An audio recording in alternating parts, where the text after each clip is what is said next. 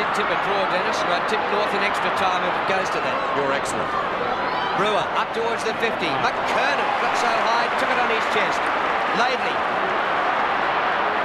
Kick by Dean Laidley. Carey in the chop. Oh!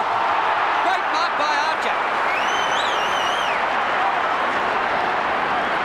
Glenn Archer will be kicking from about 55 metres. Under two minutes left.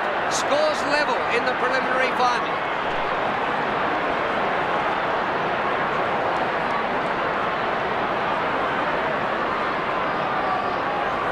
He's giving all the impressions that he can kick the distance. Will a point be enough? Won't make it. Oh! John Barnes! His second mark of the day, Barnes. I play on? Here's Couch. That's the way they play Geelong. Here they go. Riccardi around the outer side. Listen to the roar. 103 apiece. A minute and 10 to go. Smith in the row.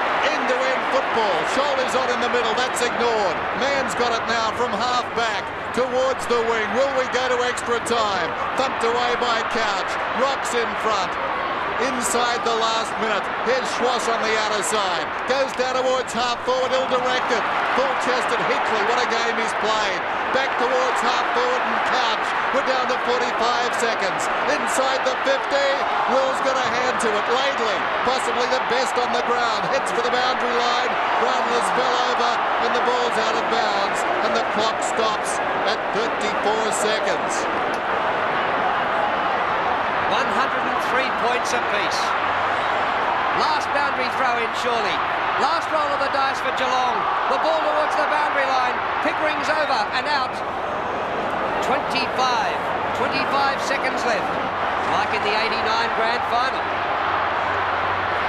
Hocking had a big lead. Mick Martin gets it. But onto the chest of Colbert. There's 18 seconds left. Colbert, what will he do? Started on the bench. We're down to 10 seconds. Colbert. And the mark is missed down there by Barnes. Right on the boundary line. Tudor. He oh,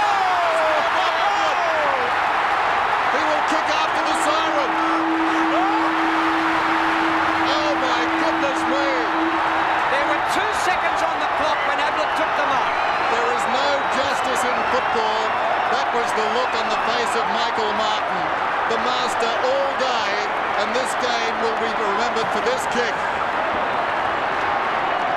Gary Ablett, five metres out. Any score will do. Geelong are in the grand final.